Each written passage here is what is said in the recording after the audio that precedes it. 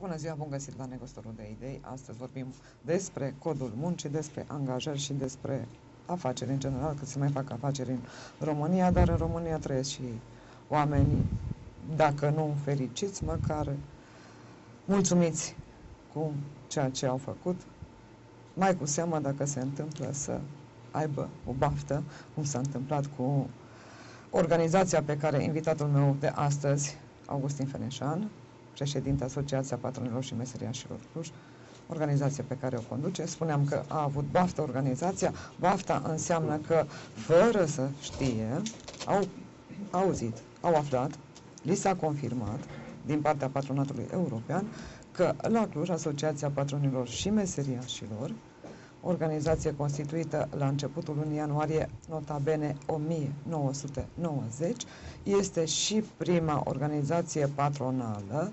înregistrată oficial din Europa.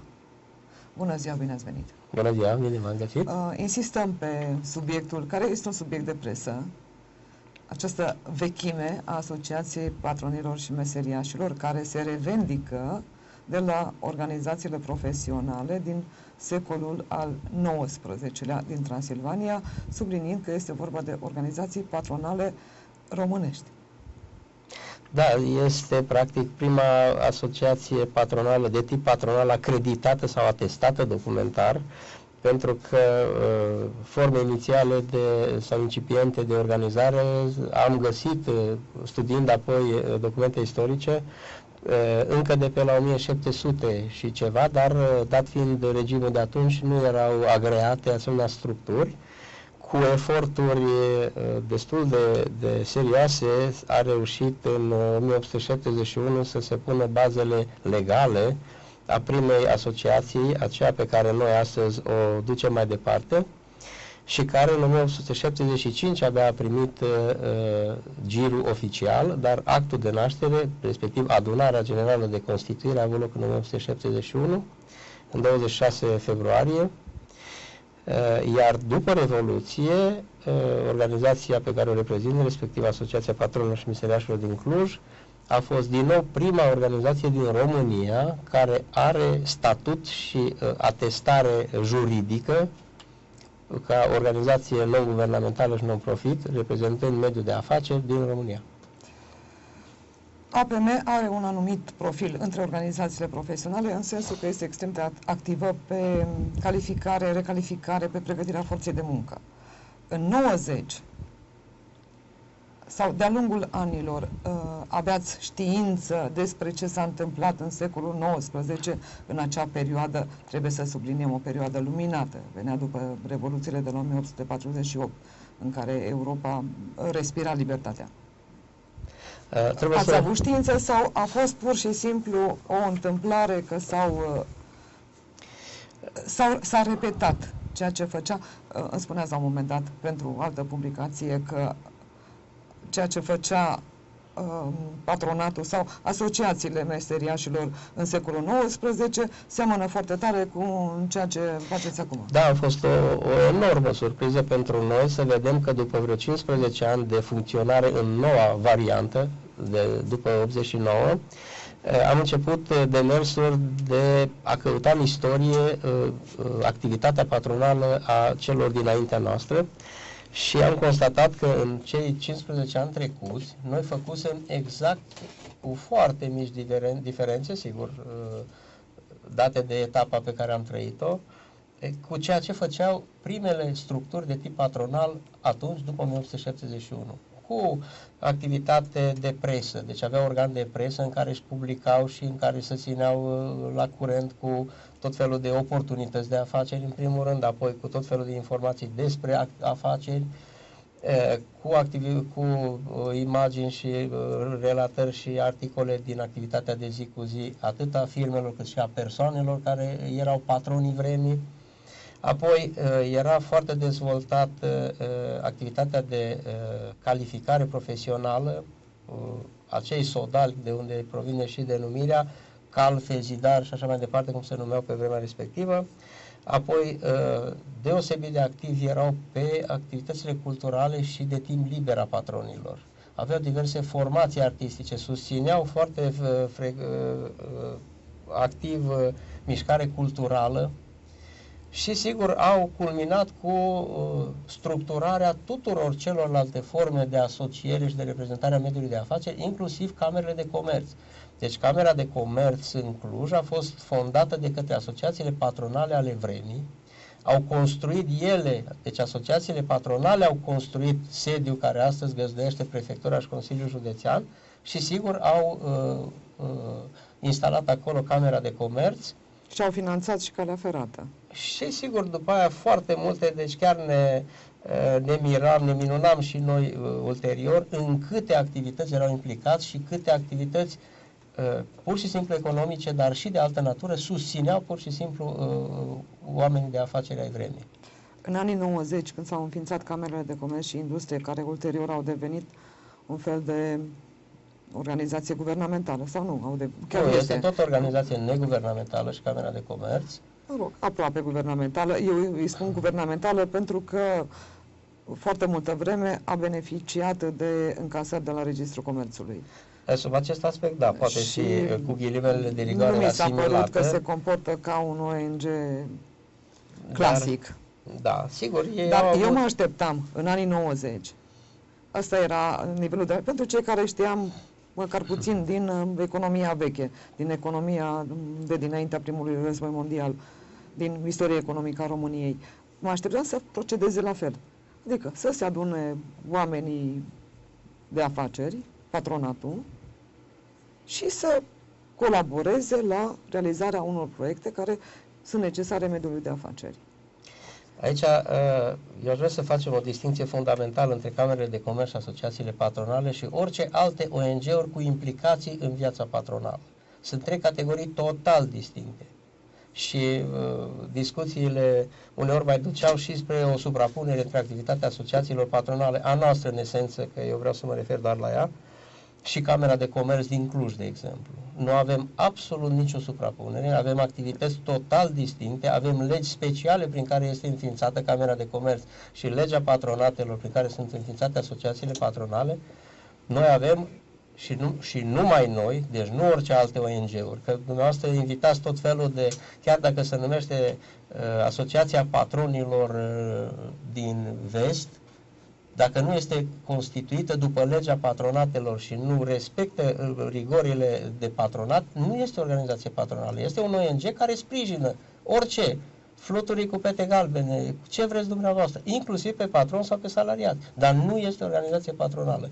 Organizația patronală este aceea care e creată în baza legii 356 și care are calitatea de reprezentant a mediului de afaceri în dialogul social. Punct. Iar uh, camerele de comerț au total alt rol. Au rol de mijlocire între firme Ideea era pentru dezvoltare de afaceri și așa mai departe. ca organizațiile patronale să se numească camere de comerț. Nu, nu. Uh, mi-ar fi plăcut, nu că nu este diferită măcar, situația. Nici măcar o suprapunere nu s-ar fi putut, pentru că sunt obiective foarte clare ale fiecăruia. Iar camerele de comerț în România tot așa au luat ființă din partea unor inițiatori uh, la vremea respectivă, au cristalizat acea lege primă care uh, era emisă de CPUN, prin care uh, s-a înființat Registrul Comerțului și în subordinea acestor structuri, faptul că le-a adus foarte mari beneficii financiare, au neglijat total rolul lor în, în uh, economie și în mediul privat, dovadă că în momentul în care li s-a luat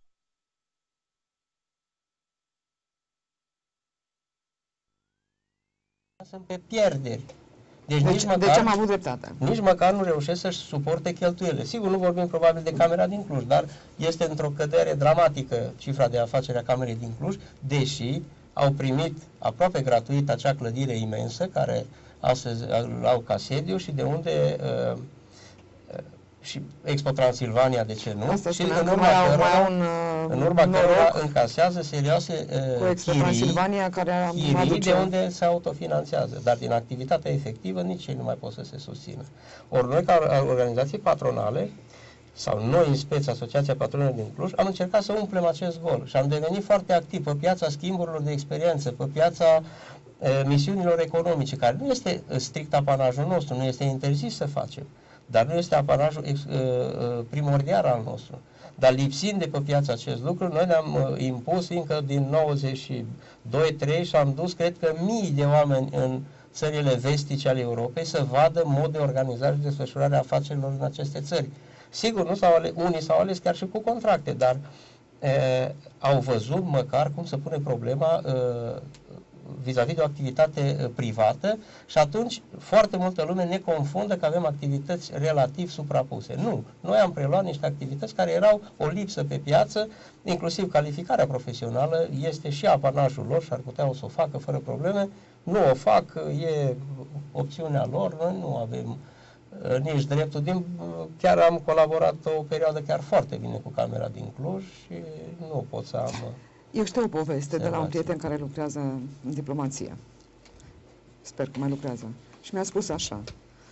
În, undeva în America Latină, o delegație de oameni de afaceri, toți șefi, toți manageri, toți patroni, întâlniri la nivel aranjate, desigur, de către ambasada României, prin secția economică și primiți protocoale, dineuri, nici măcar un feedback, nici măcar nu au mai răspuns după aceea, s-au arătat interesați, noi vrem asta, asta, asta, au venit ofertele de afară, nici măcar una să fie confirmată. Eh, poate ține de modul de organizare și e un capitol pe care eu nu vreau să insist sau să, pe mine nu se întâmplă așa ceva. Adică cât de pragmatice sunt aceste ieșiri afară? Uh, Chiar dacă nu, după fiecare se bifează câte un contract, câte un...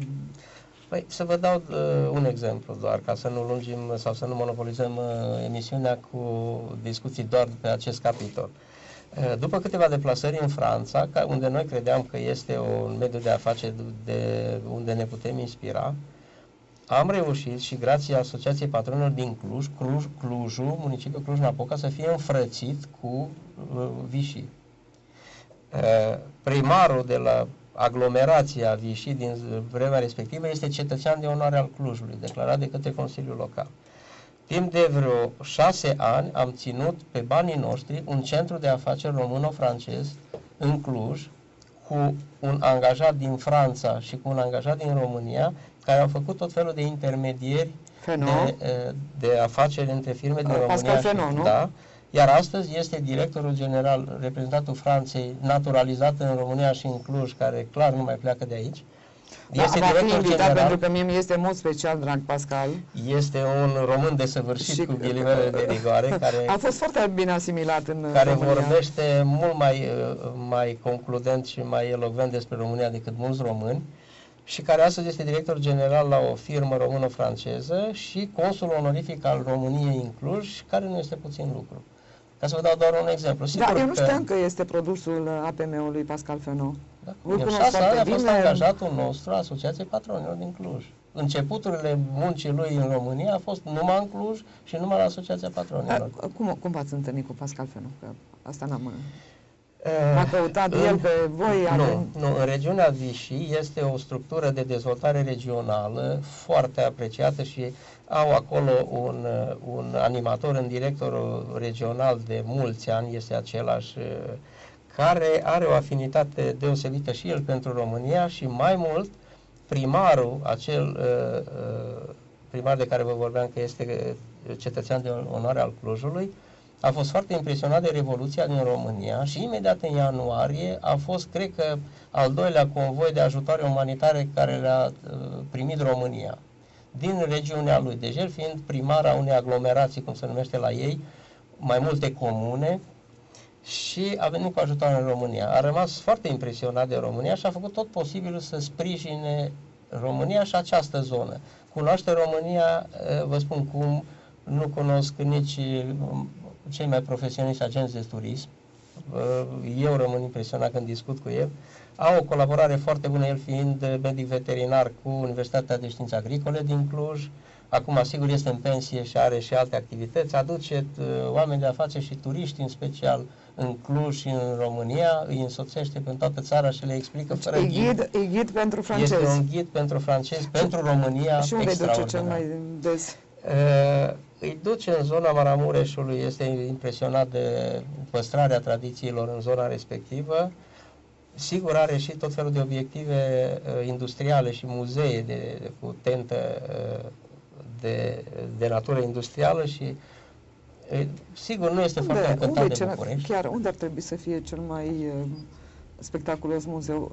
Mie mi-e foarte drag Remarul 16 februarie acolo fiecare, e adevărat că era un inginer șef care era pasionat de, de istorie și avea fișa fiecărui obiectiv, dar de la podurile, de la macarale, până la uh, ultima mașină care făcea, era produsă undeva în Anglia, nu mai au uh, englezii mașini din seria respectivă. Este un singur exemplar, da, dacă ar fi valorizată Remarul. Este fabrica în care am început activitate, așa că ah, acasă, uitasem, uitasem, uitasem, uitasem. Ma, mașina aceea, cum se numește, de dilatat, făcută în Liverpool. Uh, nu de dilatat, presă de ambut. Nu, nu, nu, nu, nu, nu, nu. E o mașină care este folosită pentru, o să-mi vină minte, dacă nu, oricum îl sunăm pe domn director și îmi povestește. A, pentru fondurile de cazane, probabil. Da, da, da, pentru, da. pentru cazanele cu abur da, și a fost folosită după ce s-a... Care dă forma nu. Uh, capetelor de, de Mașină de, de reducție se numește. Nu. În sfârșit, ne lămurim după. Ideea de bază este următoarea. La Remaru sunt atâtea povești frumoase în tot ce înseamnă acolo, de la clădire, de la felul în care este făcută ala, până la mașini și la transportoarele acelea mari, care sunt făcute, evident că sunt făcute în Germania. Evident că au rezistat pentru că sunt bine făcute. Dar acolo se poate face turism. Acolo se poate face turism. Și... Eu și nu zic de mașina lui Reuter, da, deși da. mi-ar mai plăcea să aud câteodată și cum sună uh, sirena lui Reuter. Sirena. au avut uh, în uh, și, și unul din, alt, alt turism unde se turism din, unde se mai face o chestie care probabil nu știați mașina limuzina lui Gheorghiu Dej era un, la un angajat de la 16 februarie a, nu, și venea cu ea la serviciu și acum de câțiva ani cred că a tras-o pe dreapta pentru că era într-adevăr Aia nu știam, dar de, venea e, frecvent, zilnic venea la serviciu cu mașina, cu limuzina cu care a circulat președintele. Nu știu, eu, eu, eu la 16 februarie la Remaru m-am uh, îndrăgostit de-a binelea de, de tot ce se întâmplă acolo în momentul în care au început să uh, repare locomotivele vechi mai și mocănițele și... Când au revenit la Reve... reparație, da, pentru că da. în 71, când am intrat de acolo, preponderent era activitatea în uh, locomotivele cu abur. Da, dar, Atunci a intrat dar după, masiv, după 90 au început să recupereze diesel, locomotivele, să le refacă În paralel s-a, lucrat tot timpul, deci a existat o continuitate, pentru că au, au tot fost locomotive cu abur și nu era nimeni cine să le repare și atunci tot aici se reparau, inclusiv acele mocănițe de folosite pentru turism în da, ultima da, perioadă, se... iar după Revoluție chiar era singura, inclusiv pentru Germania au făcut reconstituiri de locomotive. Germania, de, Austria, da, de, pe cu serii, abur, pe... pentru că nu există uh, da. nimeni în România care să mai poate face așa ceva și se pare că nici în alte părți, poate chiar nici în Germania. În Cehia, uh, în vechea Ceoslovacia mai era un centru de reparații, dar uh, sub dimensiunile remarului. Și a spus că așa cum este la uh, Zvarovski, fabrica, Ați fost acolo? N-am fost. Deci, Zvarovski, cunoscută în toată lumea pentru pietre, toată lumea, toate, să zic, pițipoancele, da, toate doamnele și domnișoarele preferă bijuterii cu pietre Zvarovski. Da, de la cărușoare pentru copii Are, mici, are un muzeu asta. fenomenal. Și ce îmi spuneau, care muzeu, care este uh, condus de o româncă, și îmi spuneau că aduc încasări, au un profit la concurență cu fabrica. Evident că nu se duce, nu te duce în fabrică, grupul de turism, nu se duce să vadă fabrica pentru că e complicat. Revenind la... Probabil că de-aia vrea să vină în Cluj, că e condusă de o româncă, nu? Sau în România, pardon, uh, fabrica să deschidă o fabrică în Cluj. nu, nu știu dacă mai este doamna, pentru că noi am fost în urmă cu vreo 5 ani în, în vizita acolo.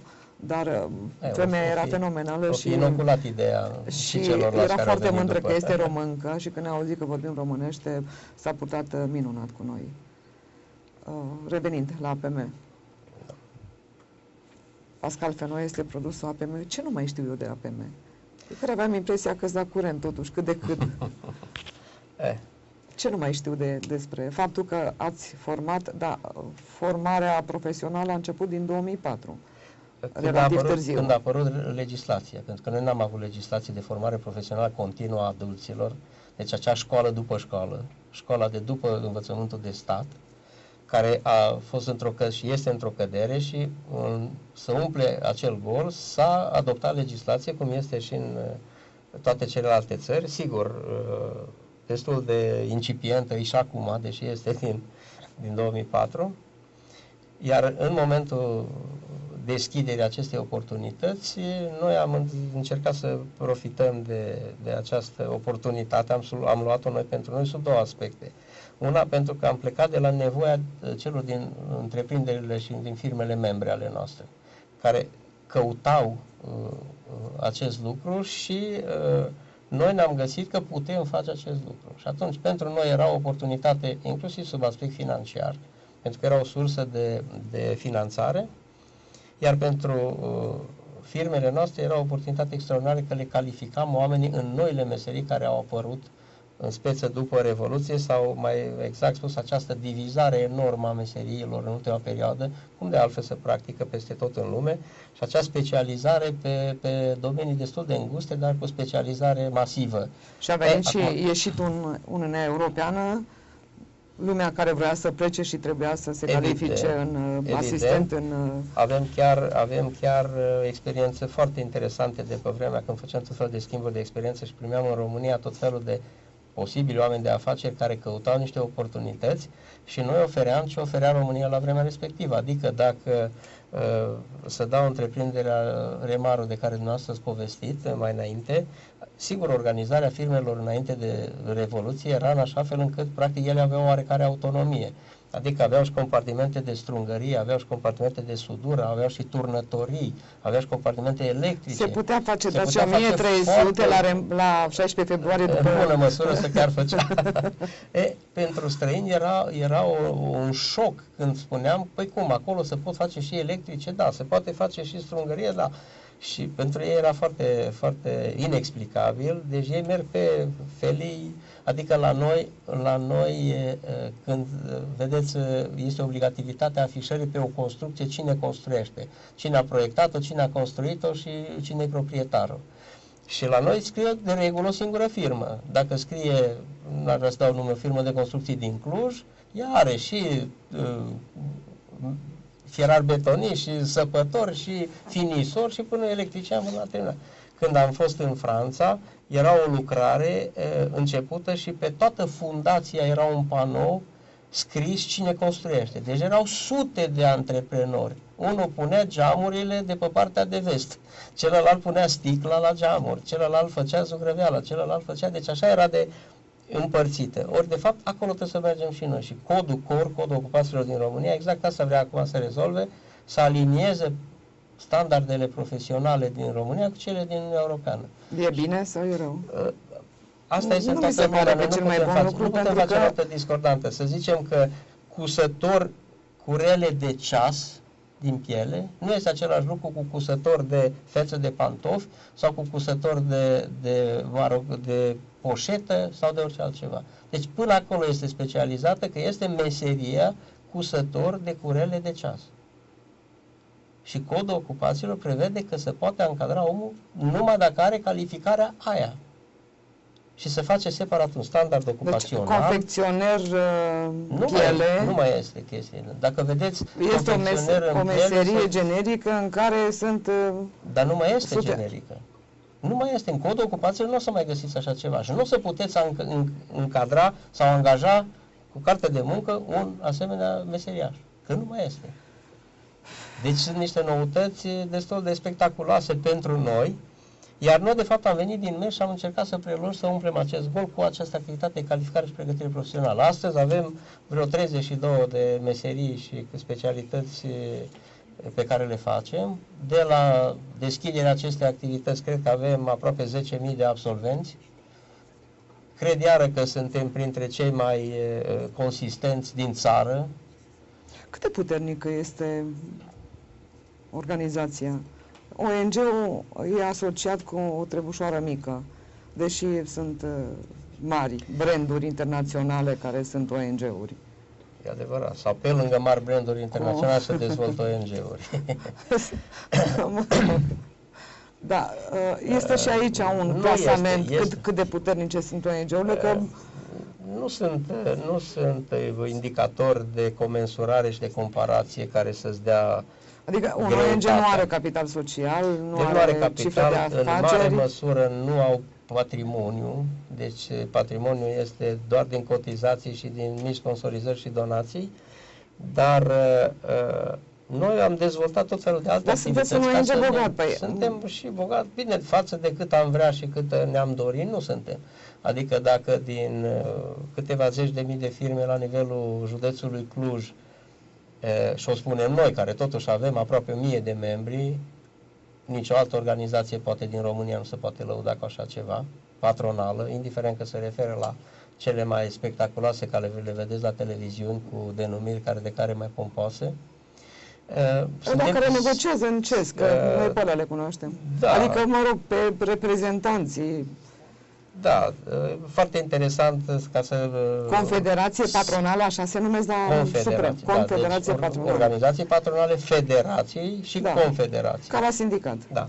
Dar uh, ca să vă dau doar un exemplu, să, că ați adus în discuție cine discută codul muncii, de cei mai vehemenți uh, președinți de confederație patronală este un angajat, pentru că domnul Corăj este un angajat, asi- uh, lector universitar. Ceea ce e bine. Dar nu poate de pe poziția de sindicalist, de salariat să reprezinte mediul patronal.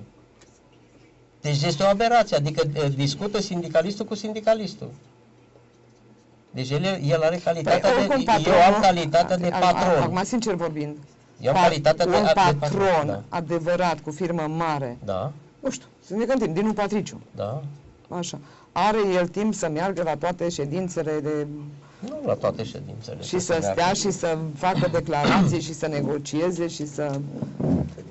Da, da, uh, nu poate să reprezinte interesele uh, pa- unui patronat un sindicalist. Nu se poate. Nu, soluția ar Nu fi este- să nu dea este- delegare ocazională acum pe... Pentru diverse puncte, Da. iar vreau să vă spun că chiar firme mari în care patronul uh, simte nevoia de a participa la asociație patronală, se duce el. Dacă vrea să influențeze ceva, se duce el. Vreau să vă spun că Păunescu nu e mai mic decât, uh, sau nu e de neglijat, un, un uh, uh, om de afaceri, este lider de patronat, dar se duce el. El și reprezintă patronatul și discută și face activitate patronală.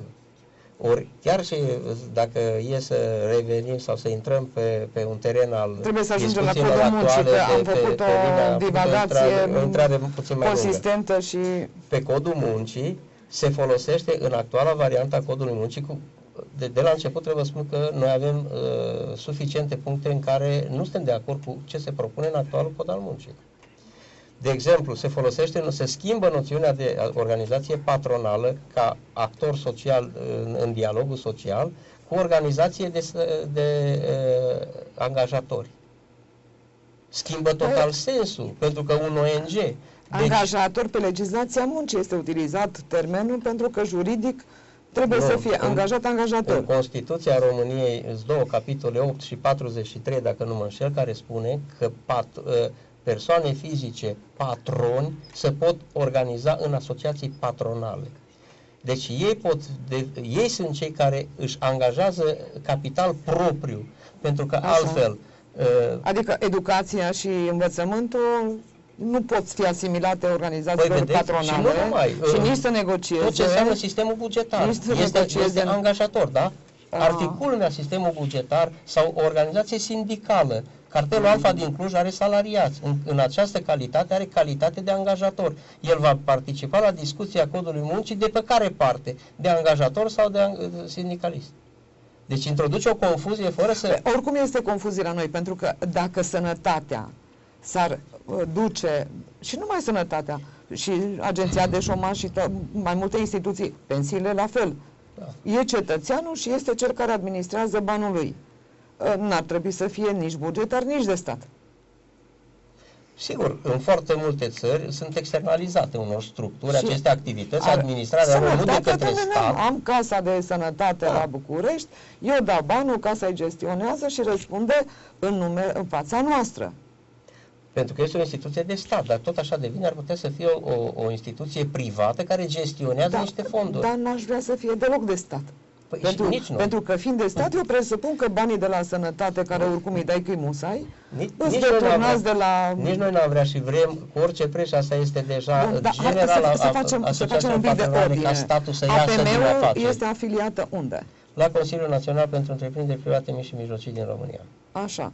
Uh, CNIM, CNI PMMR. CNI PMMR este Una din mai cele sus 12 afiliat confederații. unde? Nu mai este mai sus, Este- la nivelul așa. României este Și confederația. are la nivel- reprezentare în CES. Da. În CES cine merge? În ce merge de regulă uh, consilierul juridic al nostru, jurista Ana Bontea, care este și în CES-ul Care este european. angajată? care, e, sigur că da, dar ea merge să reprezinte, uh, uh, bine, merge și O- Ovidiu Nicolescu, dar atunci, știți cum, în ce se lucrează foarte multe comisii. Nu, dar mai devreme spuneați că nu este firesc ca numele patronatului să meargă un, uh, o persoană care este salariat și este sindicali, sindicalist, ca atare, fiind salariat. Uh, nu, nu este tot una ca cel care dă tonul să aibă poziție de sindicalist sau un uh, angajat pe care cel care dă tonul îl, îi spune care să-i fie poziția care să o adopte acolo. Da, merge cu mandat. am Merge cu înțeles. mandat și în ce se discută lucruri Uh, punctuale. Cu iar- codul muncii ați semnat sau nu? Pentru că m, ultimele informații, ieri am aflat că trei confederații patronale au semnat alături de cele cinci confederații sindicale un protocol cu uh, o partidele din opoziție, cu USL. Uh, la Uh, voi, Noi nu suntem în cele trei care au semnat. Uh, Noi semnăm dacă e voi în ați CES semnat, codul muncii. voi ați nu semnat, ați protocoale semnat cu politice. guvernanții noul cod al Nu, muncii? nu, de noi nu Nici. semnăm, uh, A semnat protocoale cineva din politice. patronate codul muncii? Uh, nu.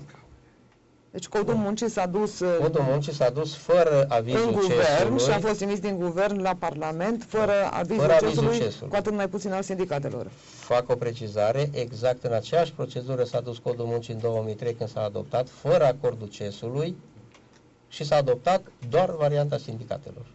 Astăzi avem un cod al muncii care s-a dus la guvern și prin asumarea răspunderii direct, fără acordul CES-ului, numai cu acordul sindicatelor. Deci este absolut în oglindă simetrică. Păi nu este Uh, acordul sindicatelor. Acum nu. Iar Deci data, iar data trecută le-a convenit sindicatelor pentru că nu au fost atâtea uh, contestații câte sunt acum. Ba, au fost foarte multe. Au fost enorm de multe dovadă când uh, e foarte, sunt foarte puține situații când în CES nu se ia o, deci, o de- decizie. Foarte puține. Codul muncii este una dintre ele. Bun, vreau să ajungem la miezul problemei.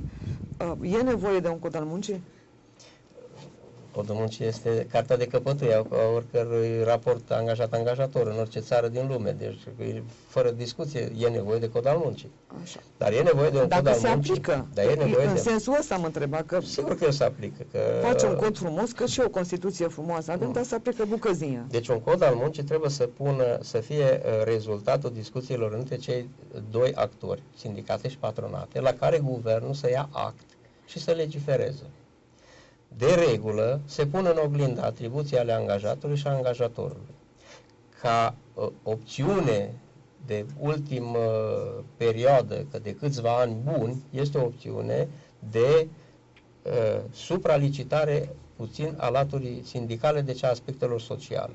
Și asta și noi apreciem că este corect, pentru că altfel dacă ai pune strict pe picior de egalitate, ar fi totuși un dezechilibru, pentru că patronul are ascendentul că sunt banii lui, investiția lui și atunci, de regulă, în documente, cum ar fi codul muncii, se dezechilibrează puțin balanța în favoarea salariaților.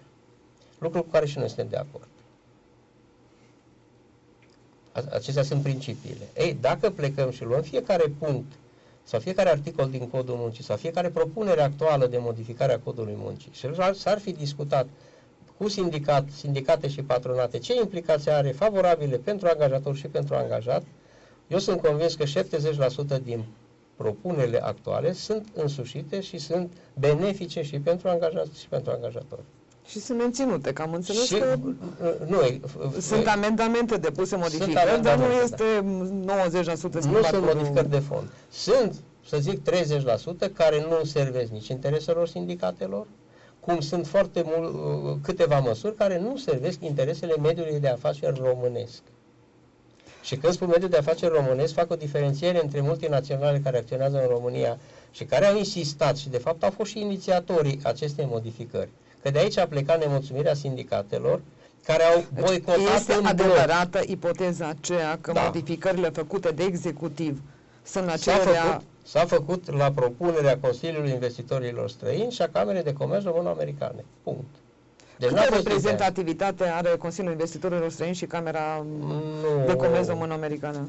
Păi dacă vă dați seama cât reprezintă afacerile cu România cu America, vă dați seama cât repre- și cât reprezintă o cameră de comerț din asta, cam cât reprezintă uh, ca pondere, Bun, ca Dar de influență. ce? De ce? Că asta este o înfrângere în fața Este o înfrângere și de fapt este Uniunii un punct, Europene, de este bine, un punct, uh, nu atât uh, că practic cele mai mari profitoare după acestea sunt multinaționale care sunt europene. care, da, Care sunt europene. da, deci vorbim ei de Pitești, vorbim de Nokia, vorbim Vorbim de... de marile lanțuri de magazine și așa mai departe, care toate vreau să aibă în România forță de muncă ieftină, o piață a muncii cât mai puțin reglementată, ca ei, la momentul în care consideră că nu mai prezentăm interes, să poată lua bocceluța și să plece. Numai din cauza asta sau vor încă să-mi iar eu mă duc aminte de Varujan Vosganian, nu, Pambuccian, Da, șeful deputaților uh, minoritățile minorități, rațele așa, decât maghiară. care da. spunea anul trecut pe la sfârșit, în timpul negocierilor, că au venit uh, cei din Co- Uniunea Europeană cu următoarea pretenție. Să strecoare acolo în, uh, la modificarea codului fiscal, uh, să reducă în România uh, reducerile fiscale, Fiscalitatea pe funcția de avantajele, muncă. avantajele, nu, avantajele pentru sectorul IT. Erau niște avantaje pentru IT-știi Da, din România, da, da, așa, da, da. la cererea Uniunii Europene, pentru că pe piața vestică este un deficit de IT-ști și sunt foarte interesate companiile din Occident De să IT-ști ia români. IT-știi din România și au cerut expres. Asta a spus-o Varonja Papuccean, care este și șeful Comisiei de IT din Camera Deputaților. Da, pentru că noi am avut... Nu, nu avem- se poate să fie, acum, asta este întrebarea, ca să fie interesați să primea pe fondul unor probleme și afară, și în Spania, și în Grecia, și în, hai să zic că în Germania nu mai sunt așa de mari. Dar oricum criza i-a atins și pe ei și probleme încă mai există în zona euro, problema datorilor suverane. Nu sunt interesați să meargă românii, pentru că și președintele ne-a îndemnat clar. Mergeți afară să lucrați. Nu vă convine România, plecați afară. Nu așteaptă și ei un, un aflux de muncitori români care să lucreze ieftin și afară. Nu. Nu doar în țară. Nu. Nu și asta este o, o confuzie care o fac foarte mulți, inclusiv uh, analiști Nu, eu nu mă economici. întreb, am întrebat. Da. Am spus că sunt Pentru nelămurită. că, pentru că ducând, ducând forță de muncă din străinătate, bună oară din România, și pe care o plătești cu sume relativ mici, după acele sume constitui sume la bugetul statului respectiv, iar protecția socială este o presiune foarte mare pe guvernele statelor respective. Adică nu poți să încasezi impozite și taxe după 400 de euro uh, ale salariatului unui român și să dai șomer, uh, ajutor de Să șomaj de alimentezi 1500 fondul de șomaj de 2000 sănătate ale de- unui spaniol. Da, am înțeles. Deci aici se creează o, o, o decalaj enorm dacă s-ar... Inter... Sigur că există un anumit echilibru. Adică folosind și există până la urmă și un sentiment de solidaritate națională, adică prima dată trebuie să-i dai de lucru concetățeanului tău, lucru care s-a și uh, manifestat foarte vehement da, și, acum cu criza și economică. oficial s-a Primii declarat care că au plecat multiculturalismul este un eșec în Germania, în Anglia, în Da. Franța. Primii care au plecat acasă, deși erau foarte buni executanți românii, pentru că sunt recunoscuți că în străinătate lucrează bine, ei au plecat acasă, nu localnicii. Pentru că este o presiune foarte mare a sindicatelor, în primul rând, acolo, și apoi există această posibilă disproporție în bugetele naționale care ar crea o această stare de lucruri. Deci dacă ele sunt menținute într-un echilibru, este, este ok. Dar Dar aici, multe lucruri în România se va întâmpla și la noi același lucru. Cu cât salariile scad, cu atâtea uh, fondul de șomaj, fondul de asigurări sociale. Dar cine a scăscat salariile în România? Uh, Au scăzut niște câștiguri Au în scăzut. România, niște câștiguri, nu salarii, pardon. Au deci în sărit- 2009 Nu. mediul privat a făcut corecții serioase la Acolo, salarizare. am crezut că vreți să vă referiți la din, Așa. Ceea ce diminuarea, se repercutează diminuarea pe bugetul de câștigurilor, asigurări sociale câștigurilor și pe, bugetale. pe șomaj și pe pensii. Pentru că trei fonduri foarte importante sunt alimentate cu bani mai puțini. Este adevărat. Și Pentru de că aia, baza de colectare s-a redus. După aceea vine președintele Băsescu, merge și lucrați afară. Nu vă obligă nimeni să stați în țară. Ok, pleacă lumea afară, dar nu mai sunt cotizanți în țară. Nu mai sunt contributori la bugetele... În primul rând nu putem pleca toți afară, în al doilea rând pleacă cei care n-au de lucru în România și trebuie să, să disecăm odată și să spunem clar lucrurilor pe nume. Un muncitor bun nu trebuie să se teamă nici de actualul varianta codului muncii, nici de necâștig în România, dacă vrea să lucreze. Și asta o spune uh, guvernatorul Băncii Naționale, o spune primul ministru și o spun toți cei care cunosc o realitate. Și eu am un exemplu pe care l-am dat în diferite uh, situații, al meu, al meu, al unui angajat de al meu, care lucra în Italia exact cât patru oameni în România. Eu plătesc în România patru oameni un pic mai mult, dar toți patru, un pic mai mult decât câștiga el în Italia.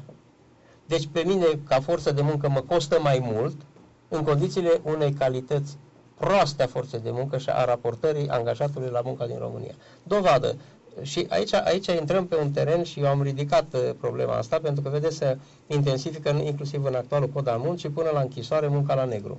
Așa.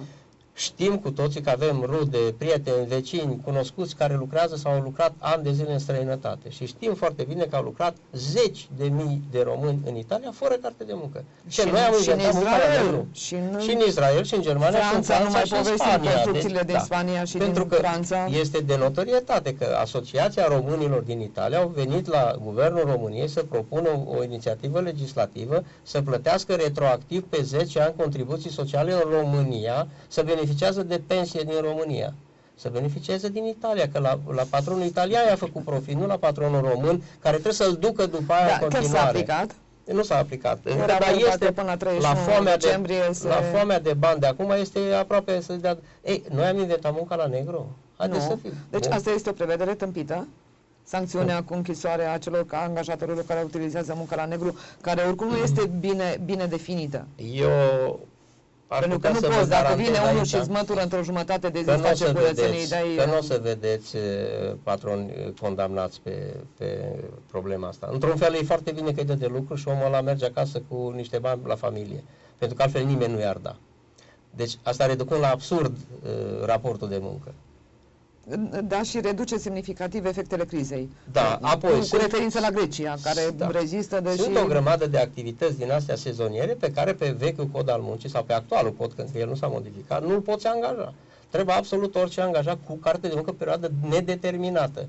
Nu știu de unde atâta uh, uh, intransigență pe factorii sindicali, că ei țin foarte mult la acest raport de muncă pe durată nedeterminată. Pentru că, în decursul timpului, ca să plece unul din muncă pe perioadă nedeterminată, trebuia neapărat să iei salarii compensatorii. Păi este corect ca eu trebuie să dau afară un angajat că nu mai am de lucru, dar să-i dau bani?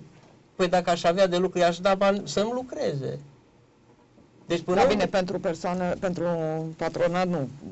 Salariul dar... compensatorii mergeau pentru armată, minerie. Și, și astăzi este, dacă, dacă dai afară, dacă reduci activitatea și ca privat, trebuie să dai cel puțin două salarii compensatorii e singurul loc unde sunt de acord cu guvernul. Pentru iar, că în instanță, iar, și asta iar, iarăși vreau să vă întreb, e adevărat că 90% dintre procesele în care salariatul dat afară acționează în instanță câștigă da, în instanță și da, ia banii? Pentru că procedura ar fi cam de 3 luni de zile ca să poți da afară un salariat care îți face niște prejudicii imense, da. iar uh, uh, procedurile ar dura cam 3 luni. Și atunci, de regulă, să rupe acest lanț angajat-angajator, care nerespectând pentru că în codul muncii este asemenea prevederi și de aia vrem să fie puțin mai flexibilă, uh, mai flexibil acest raport, pentru că nu este corect ca la ora 20, 23 și 10 minute, ca să fiu explicit, la 11 și 10 noaptea, vinerea seara, să mă sune pe mine bucătarul șef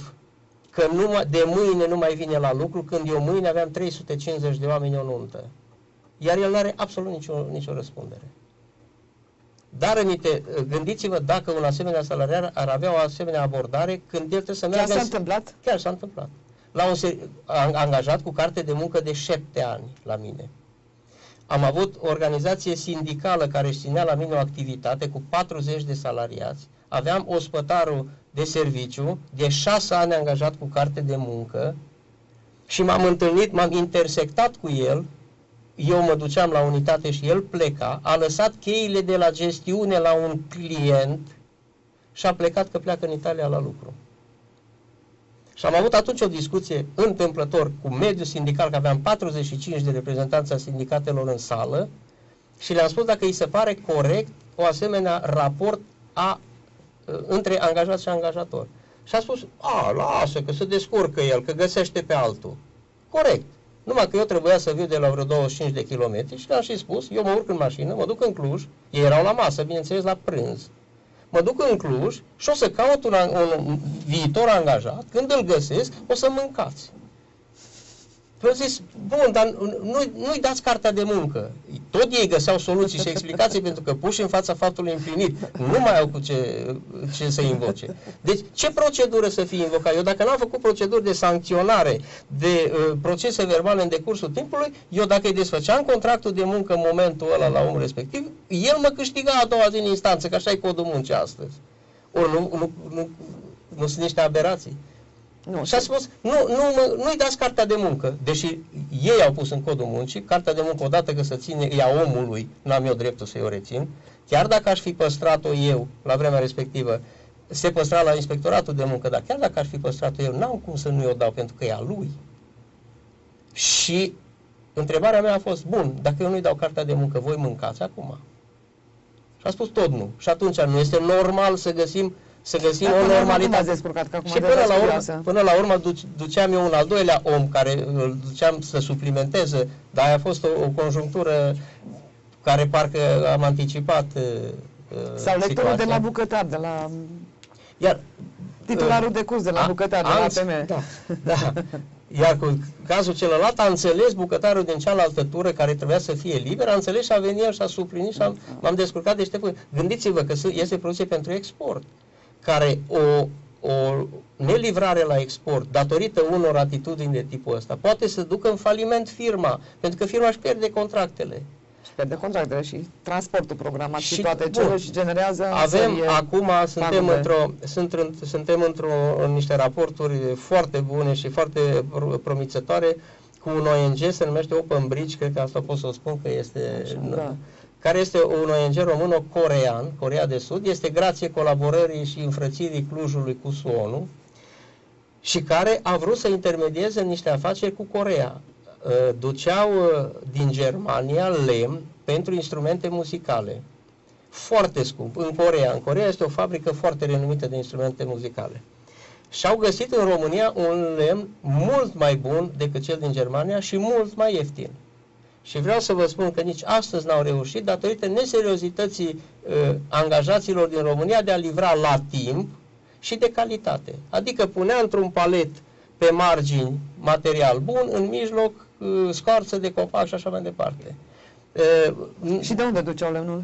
Din zona noastră, că uh, ONG-ul este în Cluj și era în zona uh, României. Și lemn de brad, ce fel de... Nu era un lemn special, nu știu de ce esență, dar uh, alaltă am discutat cu coreanul care este în România și care a fost profesor șef de la Universitatea Babeș-Bolyai și astăzi aproape și el este naturalizat în Cluj și peste două săptămâni noi o să mergem cu o delegație de 25 de oameni de afaceri din Cluj în Corea și în Japonia. Și la fabrica de instrumente muzicale? Nu, nu.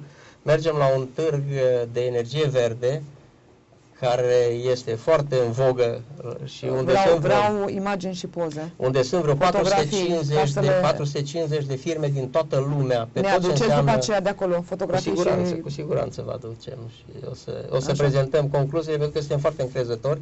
Vin chiar niște, niște oameni de afaceri din Cluj interesați pe domeniul respectiv și uh, coroborat cu intenția foarte mare și foarte deschisă de colaborarea Coreei de Sud cu România și nu numai cu toată Uniunea Europeană, pentru că aici este un element de noutate. Ei încearcă de ani de zile să intre pe piața Uniunii Europene și nu reușesc. Și au găsit că România are un, un acord bilateral, bilateral cu Corea, grație căruia este posibil ca prin România să intre Data de intrare spre Uniunea Europeană și să, să România. și să ducă lucruri din România. au uh, da, destule uh, chiar și solicitări de la noi. Europeană nu... Nu, nu, pentru că, vedeți, mai nou nu se mai pun bariere de, ne... de acest tip, uh, pentru da. că primează... Revenim la codul muncii și la, la intenția, la dorința uh, companiilor mari străine da. de a avea forță de muncă uh, ieftină în, uh, în România. Chiar este reală?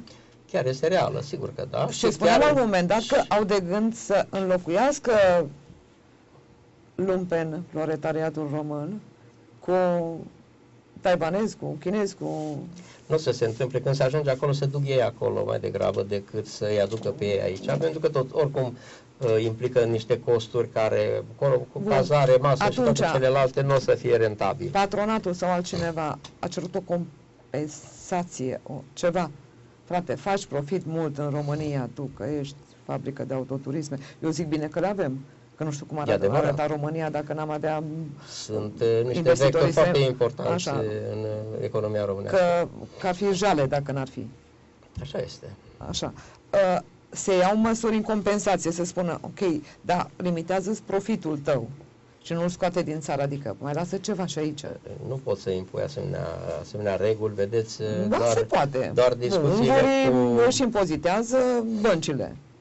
Da, e, uh, aici, este, sunt aici, taxe care se pot pune, hotărăște guvernul, nu se bagă aici, nimeni peste cetera și spune, frate, taxa bancară. Corect. Dar vai catizația, cum Sigur, ar trebui a zice să, rușii. Da, să intrăm pe niște paliere și noi avem în, în abordările noastre, inclusiv de această manieră, pentru că e, noi, ca organizații patronale, avem reprezentanți în consiliile consultative sau de administrație sau cum se numește, la fiecare minister, Comisie de Dialog Social.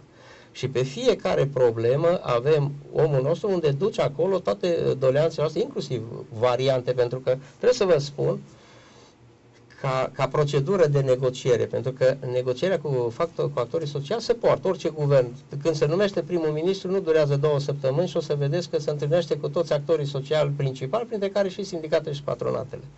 Și se, uh, cel puțin noi, ca, ca mediu de afaceri, și asta a fost specifică tuturor confederațiilor patronale, de fiecare dată au plecat de la ideea că trebuie găsită soluție.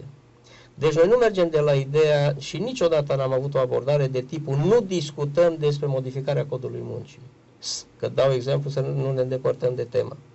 Niciodată n-am, chiar dacă, și vă spun astăzi, în codul muncii care se preconizează, sunt 10 puncte care privesc uh, angajatorul și 16 puncte care privesc angajatul. Deci, iarăși, sunt 16 puncte care clarifică și, și definește mai bine raportul salariatului. Deci nu este 10 puncte ale patronului și cu asta facem slavagismul în România. Nu. Ați văzut, Sunt 10 puncte. Ați văzut ultima variantă, cea trimisă la Parlament, uh, care probabil că așa va rămâne da, pe o mare. Da, care sunt cele mai importante modificări în... Uh, nu, sunt, nu sunt modificări spectaculoase. Sunt, uh, de exemplu, și uh, N-am înțeles de ce se discută, că vă spun, dacă s-a discutat pe unele dintre ele, prelungirea duratei de perioade de probă, este un lucru care n-am cerut-o noi foarte, sau nu susținem noi foarte tare, pentru că mai ales ca uh, specifica economiei românești, unde 90% sunt din întreprinderile România sunt IMM-uri, nu ne împotmolim foarte tare dacă această perioadă de probă este de 15 zile sau de 20 sau de 60 sau de 90 o cer această, iarăși, structurile multinaționale ca să aibă ei uh, timp în care să țină omul într-o oarecare formă de colaborare cu ei și după aia să nu aibă obligații. Pe, pe această temă s-a discutat destul de mult, noi n-am insistat uh, că ne opunem sau că o susținem. Uh, se prelungește durata de angajare pe durată determinată, perioada. Sunt proiectele europene și este un caz aproape punctual care au durată de implementare de 3 ani. Actualul cod al muncii prevede durata maximă uh, de angajare pe, pe perioadă determinată de 2 ani. Asta înseamnă să nu poți respecta legea, pentru că, și spunea primul ministru la un moment dat uh, lucru care nu era adevărat, că stimulăm munca la negru în proiecte, nu se poate. Deci în proiecte este nu la, nu la alb, este uh, exagerat de verificate. Uh, Eu zic să nu zicem că nu se poate, că Muncă la din, negru în din proiecte zona noi. aceea sunt foarte multe surprize. Muncă la negru în proiecte nu există, În altă- pentru că tocmai trebuie să pui un document ca să poți lua bani. Deci nu acolo. Dar nu putea angaja pentru cei trei ani. Ori activitatea în aceste proiecte este foarte focusată, foarte punctuală. Eu cer un expert de cercetare care să facă, nu știu, activități într-un proiect și noi avem șapte, opt proiecte cu finanțare europeană care le derulăm în prezent. Care nu trebuie zilnic mie. Alocațiile bugetare pentru aceste proiecte sunt mult mai mari decât alocațiile obișnuite. Și atunci ce ar însemna? Să-l angajez pe perioadă nedeterminată, ca la terminarea proiectului eu să fac toate procedurile alea de reducere a, a salariatului. Să-i dau două salarii compensatorii egale cu salariile din proiect, care sunt mult mai mari decât aia, pentru că cel mai mic, uh, cea mai mică compensare când uh, îl dai tu afară, poți este să-i dai două salarii. Și să urmezi proceduri de luni de zile până când îi desfințezi postul. Ori, prin acest... uh, Și acum așa și este? acum, acum este într-o... Deci, uh, Deci este- inspectoratele de muncă au acceptat tacit angajări pe durată determinată sau, dacă nu a zis, facem pe 2 ani și după aia găsim o soluție până atunci să prelungim încă pe un an. Pentru că n-ai voie nici să schimbi omul care este implicat în proiect. Rigorile sunt foarte mari în proiectele cu finanțare europeană. Și plecând de aici s-a zis, hai să cl- clarificăm pentru că în proiectele astea lucrează sindicaliști, salariați. Deci nu patroni.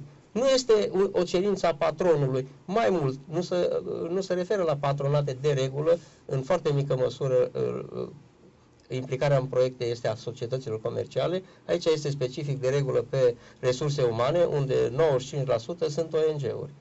Și atunci ONG-ul respectiv se poate lua un angajat strict pe perioada proiectului, după care, evident, îi să încheie acti- uh, colaborarea, dacă apar alte proiecte și pe alte oportunități, pe alte uh, competențe, merge în continuare pe un alt contract și trebuie să flexibilizăm să-l putem angaja. Sau sunt activități în proiecte, trei luni acum, uh, întrerupe activitatea, mai durează, sau același om să aibă secvențe de diferite luni, experți pe termen scurt, cum se numesc, de 2, 3, 4 ori pe durata 3 ani. Ori noi nu avem voie pe același om să-l angajăm mai mult de 3 ori. Altfel trebuie pe durată determin, nedeterminată. Deci trebuie acel om care de fapt a făcut munca până la un loc, eu să renunț la el și să iau pe altul care habar n-are când se termină proiectul, la partea finală să poată încheia proiectul. Deci erau efectiv niște cazuri punctuale care le-a rezolvat cu această prelungire a duratei pe angajării pe perioadă determinată de la, uh, 3, de la 2 ani la 3 ani.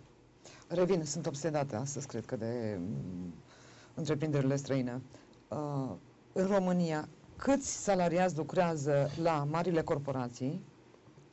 Uh, Eu n-am, Cam uh, câți? Mă, nu, o estimare. Nu, nu vă pot da o estimare, adică mai mult da. de 50%? Nu, nici nu. Pentru că atunci nu văd de ce Consiliul Investitorilor Străini și Camera de Comerț uh, Româno-Americană este cea care dictează, face regula jocului. Uh, nu face Că- regula jocului. Ei, ei și-au, nu, dar și-au n-ar trebui să exprimat un fie o punct de vedere. proporționalitate. Noi ar Bun, trebui- noi nu. suntem IMM-urile, avem 90% din economia românească, avem atâția angajați, 80% sau 70%. Noi ar trebui să, avem, să creăm un echilibru. Așa cum vă spuneam la un moment dat că uh, celelalte țări europene creează un echilibru, că primesc un număr de uh, uh, căpșurari veniți din Așa, alte nu? țări de unde salariile sunt mai mici și echilibrează cu uh, munca lor, tot, aici, tot așa ar trebui să facem un echilibru. Uh, trebuie să punem în echilibru și părțile bune ale venirii unor asemenea lanțuri de magazine Și ale sau de remunerii, firme, că se pot și ale muta. remunerii, și uh, celelalte aspecte care le-am uh, identificat ca fiind nebenefice pentru mediul de IMM-urile mai afaceri. sunt băgate în seamă, pe lângă faptul că au făcut uh, crimă și Uh, pedeapsă în Deci, 2009. uh, IMM-urile noi, de fapt aici s-a localizat diferența sau divergența noastră vis-a-vis de fo- co- uh, actuala varianta codului muncii, pentru că noi am zis, în principiu, sigur, codul muncii trebuie să reglementeze niște activități sau niște raporturi în principiu, deci general valabile. Dar vă dau un exemplu și uh, noi plecând de la câteva cazuri în speță, am zis, domnule, uh, e f- în toată lumea și Comisia Europeană în 2008 a emis un document care are caracter de normă pentru toate țările europene, Small Business Act se numește, care principiul fundamental este gândește, gândește prima dată la scară mică. Uh, Experimentează la scară mică ca să vezi dacă merită extrapolat. Și atunci, plecând de aici, noi am cerut ca anumite prevederi, nu cerem un codul muncii să nu fie incluse, pentru că altfel am cerut să fie un cod al muncii în așa, așa de laborios și de stufos încât să prindă fiecare caz în parte. Dar vă dau un exemplu.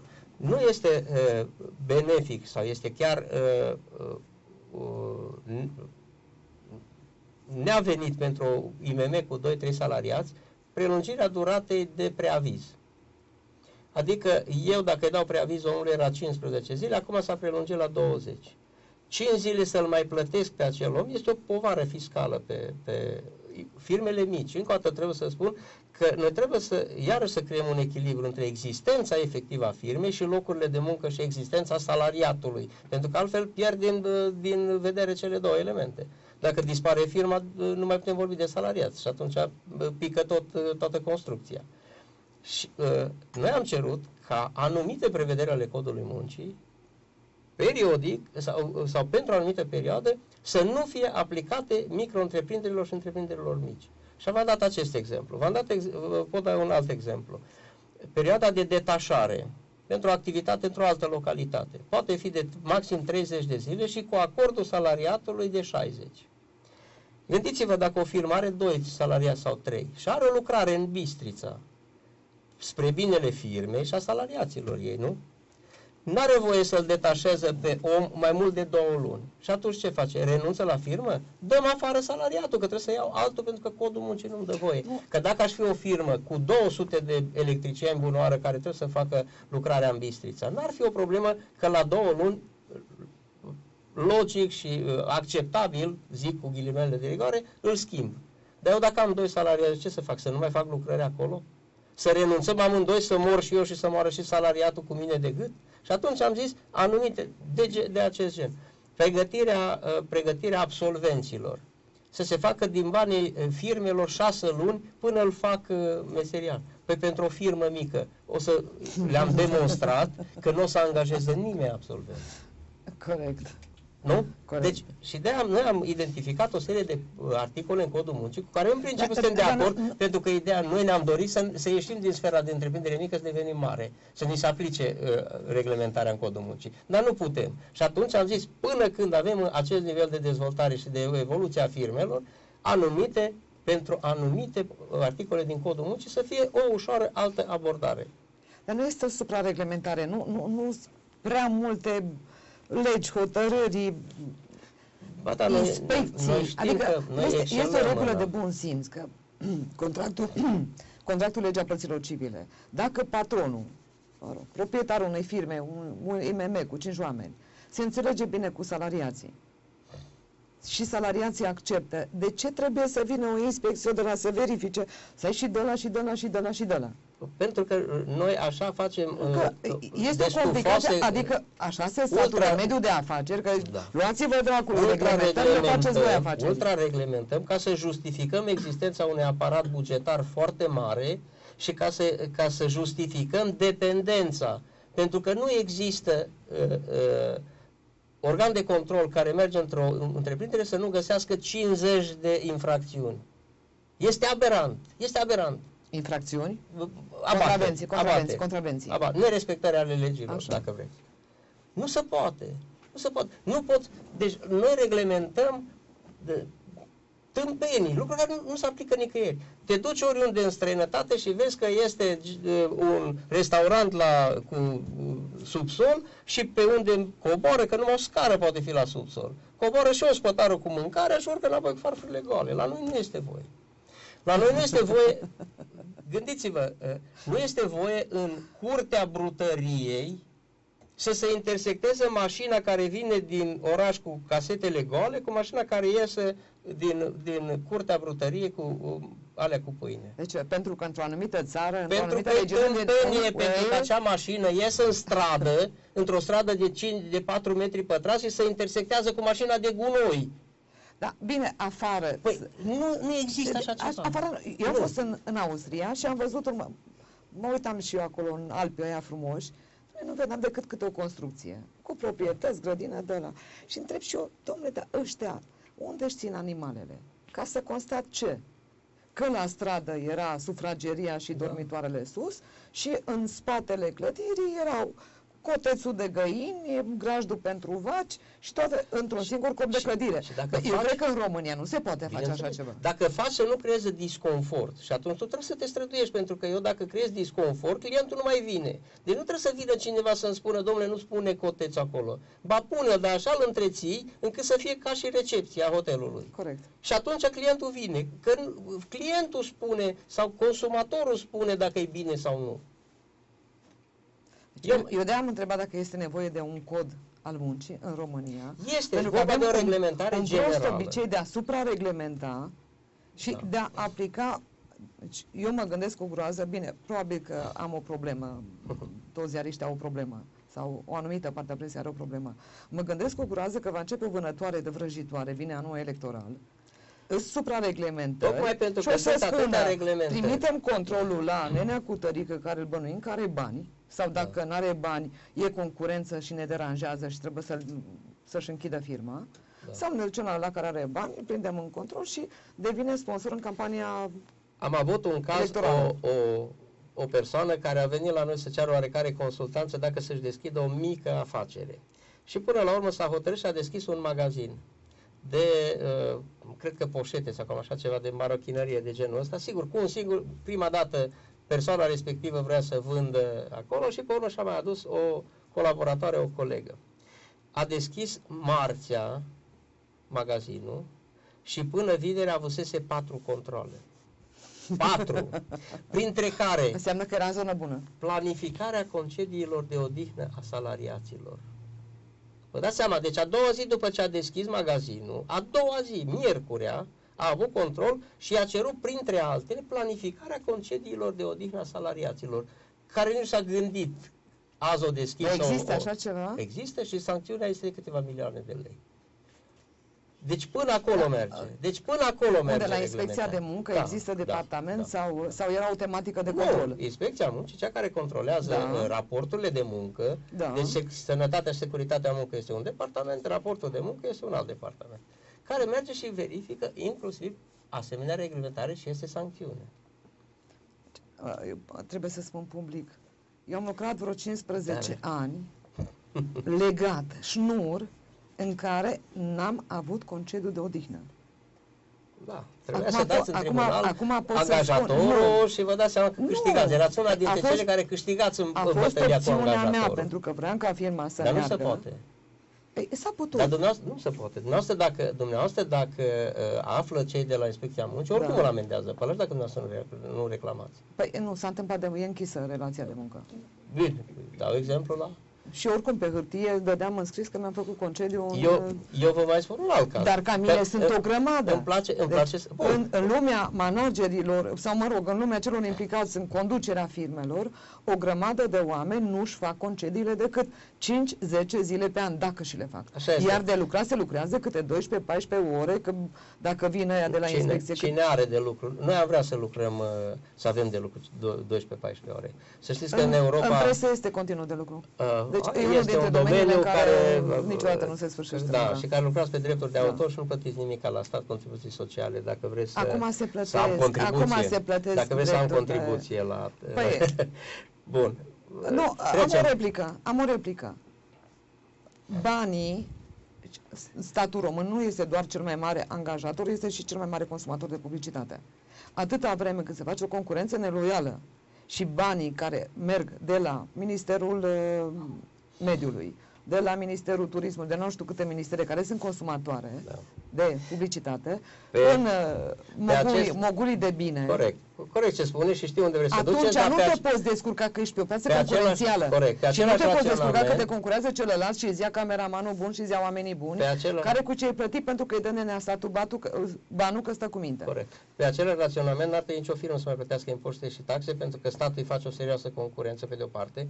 Pe de altă parte nu-i dă nimic, niciun sprijin, Da. măcar să-l lase în pace. Îi Noi dă- de foarte multe îi dă ori nu numai ne cu băta trebuie în nimic, cap. lăsați-ne în Da. pace să producem, dar nu te lasă și atunci ar, ar- nici noi n-ar trebui să mai contribuim cu nimic. Nu, dar astea sunt lucruri care trebuie discutate. Da, dar Și nu văd de ce nu le-am Vă, discutat. vă dau un alt exemplu și probabil că nu o să fie motivul de amendă mâine la, Nu, la avem- mine la firmă. Așa. Că îmi place să dau exemple de la mine ca să nu, să nu fie Uh, eu am uh, o perioadă și primul ministru spunea acolo că e nevoie de, de acea prelungire a perioadei de recuperare a orelor suplimentare de la 3 luni la 4 luni, pentru că sunt activități relativ sezoniere și atunci când este de lucru lucrezi, cu condiția că îi dai, îi dai omului timp liber sau îl plătești dublu. Și se aplică acest lucru fără niciun fel de problemă. Uh, eu încep anul cu nemuncă. Deci eu n-am și, și în codul muncii și nici într-o reglementare și legea, pentru că nu este prevăzut în codul muncii, nu îmi dă voie. Și vă dau un exemplu banal. Dacă uh, lucrați la o firmă sau lucrează la mine un angajat și am nevoie de el și stă astăzi peste program 4 ore, în următoarele zile îi dau liber. Orele lucrate peste program, să spune clar, trebuie prima dată, prima opțiune este să îl dai liber omului, că nu se merge pe intensificarea muncii sau prelungirea aici. De când cu școlile, nu de... Da, îi dau liber. Dar dacă el are o nevoie în data de întâi a lunii și îmi cere o zi liberă, nu, nu, nicio prevedere nu mai îmi dă voie eu să recuperez. Nu se compensează. Nu. Nu. Nu se poate compensa și este ilegal și este amendă de la ITM. Deci vedeți până, deci, până unde se duce ex, excesiva deci, reglementare. Cu atât mai mult întrebarea am, este motivată. Da, eu am, nu? eu am activitate, exemplu, în ianuarie-februarie este uh, activitate foarte redusă, mi se justifică să nu duc angajații la serviciu.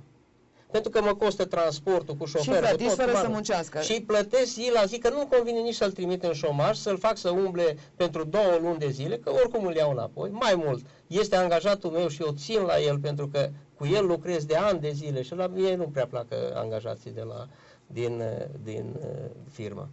Și prefer să-l plătesc și eu fac o foarte mare ilegalitate deși este acceptată între mine și salariat. Cum e ilegalitate? Pentru că n-am voie să îl, îl pontez pe om dacă el nu s-a dus la lucru, una, și a doua n-am voie să-l chem la lucru mâine să stea patru ore în plus, că două luni de zile l-am plătit și E halucinant. Este halucinant. Deci aceasta excesivă, când codul muncii ar trebui să stabilească niște principii generale ca raporturi între. Sau vă dau un alt exemplu. În contractul colectiv de mult discutat contract colectiv de muncă la nivel național. Zice codul muncii concediul de odihnă nu poate fi mai mic de 20 de zile. Vechiul cod. Adică... Și actualul cod și nu se schimbă. Că nu, asupra zilelor de... Nu. E vorba de, de câte zile trebuie să iei legat concediu. Și aici are o chestie care e din practică. Înainte de Revoluție, poate știți, și am beneficiat cu toții de concedii, ne duceam la mare cel da, puțin două săptămâni sau în stațiunile de tratament în, care mergeau, mă rog, mai în vârstă, mergeau la, în, cu bilete de tratament, era de trei săptămâni concediu în stațiune. Acum este de șapte zile și știm peste tot, standardul cu mici excepții este, chiar uh, sunt variante de 5 zile acum. Și atunci, prin codul muncii, ești obligat să-i dai cel puțin 15 zile prima tranșă de concediu. N-am înțeles de ce mă obligă să-i dau 15 zile. Când el vrea, de exemplu, să meargă 7 zile la schi iarna și să poată merge cu copilul vara la, la mare. El nu mai poate merge dacă respectăm codul muncii. Pentru că sunt obligat să-i dau 15 zile și lui nu-i trebuie, că stă 7 zile la schi și stă acasă după aia, dar după aia nu-i mai rămân zile să meargă cu copilul la mare. Am înțeles. Să și atunci să noi am propus 10 zile. Bun. Musa. Dar cu, cu codul muncii. Nu vreau, zice zice codul muncii 10 Musa. zile, 20 de zile concediu de odihnă. Vine nu va fi mai mic de 20 de zile. Vine contractul colectiv la nivel național și zice concediu de odihnă nu va fi mai mic de 21 de zile. De ce? Pentru că la, e, mărește toate intervalele, contractul la nivel național. Zice, reglementările în contractul colectiv național nu pot fi mai mici decât codul muncii, deci numai mai mari. A, accentuează prevederile. Contractul de ramură nu poate fi mai reglementări sub contractul național și atunci accentuează reglementările. De ce? De ce ne trebuie 100 de, de lanțuri? Eu am o întrebare care, da. dacă este uh, justificată, rezolvă problema contractul între două persoane este regula părților civile. Noi ne-am înțeles, eu patron, tu salariat. Așa spune domn profesor Liviu Bu, care îi meșter în drept civil. Dacă ajunge în instanță, vine ITM-ul și îți dă o amendă. Și domnule, constat că ți-a stat uh, salariatul tău patru ore, nu-ți forme legale, nu știu ce. Mă rog, găsește, nu-i planificat la concediu. Dar și nu reclamă nimeni, foarte interesant. Nu reclamă nimeni. Așa, nu reclamă din oficiu. Și angajatul din, și angajatul. Din oficiu, numai Deci la părțile da. sunt înțelese și Bun. de acord. Dacă se ajunge în instanță, presupunem că vine ITM-ul, da. trage o amendă, contestăm și mergem în instanță și merge patronul cu salariul de mână și zice Domnilor, noi doi ne-am înțeles, eu cu patronul și nu avem nicio... Dar Ce se întâmplă? Tot rămâne amenda? Da, pierzi, pentru că este prevedere Ah, legală expresă. nu. Că dacă, tocmai că, aia spun, dacă n-ar Nu. fi expres... Nu, nu, nu, ar fi, este- este de, de exasperant. vă spun, niște, niște reglementări și puțin în favoarea salariatului, pentru că bă, totuși bătălia, v-am spus la început, nu e egală între angajat și angajator. Reglementările trebuie să fie ușor în favoarea salariatului, dar reglementări generale. După aia particularizarea raporturilor de muncă, cât vreau eu să lucrez și cât... Păi, codul muncii în România nu-mi dă voie să fac, să plătesc oamenii bine ca în Italia. Pentru că acolo ospătarul meu lucrează în fiecare zi de lunea până duminica seara, de la 7 dimineața până la 11 seara, în fiecare zi. Și vine cu 800 de euro acasă. Și eu i-am propus să vină la mine și lucrează 3 luni. Și 9 luni își cheltuie banii ăia și rămâne și fără familie, că după ce te duci multe luni prin alte părți, ori unul, ori celălalt să satură. Și eu i-am propus, haide în România, faci ce ai făcut în Italia și nu contează dacă ai client sau nu, că asta e treaba mea. Și eu îți garantez că în fiecare zi te duc uh, seara acasă cu mașina mea, cu șofer la scară și dimineața te iau de acolo, de la familie și îți garantez 12 luni pe an, 800 de euro pe lună. Exact să facă munca ca în Italia. Odată că nu o pot face, că eu încalc codul muncii, deci pe mine nu mă lasă. Legea. În Italia nu știu ce, toată lumea lucrează așa și toată lumea respectă codul muncii. Nu știu ce cod al muncii au ea. Și Știu, știu, dar pun o problemă. Și a spus, păi, uh, știți, dacă stau în România, n-aș merge în fiecare zi la servici. Corect. Împărțim în două, da? Mai luăm unul. Astăzi vii tu, mâine vine celălalt. Nu? Corect. I-am propus. Nu știu. cum e. Corect. Păi dacă, uh, știți, aici mi-e rușine să spăl pe jos, că mă vede unul altul și mă cuna. Bun, mai luăm unul. Luăm femeia de servici, da? Și însumând doi astăzi și doi mâine, patru, eu am patru angajați plătiți prost și care fac o muncă proastă, iar în Italia este unul singur care e plătit mai bine și lucră de neadevărat. Da, da. Și atunci de ce Da, dar în angajatorul România român... n-ai voie să fii și la bucătărie și să speli WC-ul. Dar, no, bine, sigur că da. Deci în România trebuie să respectăm codul muncii, să nu putem... De Tocmai noi să mi-a fim, spus că trebuie să fie da, deci noi să fim plătitori, patronii români să fim pl- răi plătitori confecționari, angajaților. confecționari cu rele de ceas. Da, punct. Specialist. Da. Deci la noi dacă are halat albastru, nu are voie să intre în zona celui cu halat alb sau cu halat uh, verde. Uh, e ora 7 fără 3 minute. Asta înseamnă că ne mai întâlnim, că nu s-au terminat discuțiile. Eh, Discuții nu o să terminăm. uh, Ne oprim aici, orientez. din considerentul că e ședința la Lions. Unul, da. Mulțumesc de prezență și celor ce ne-au auzit. Ne vedem mâine.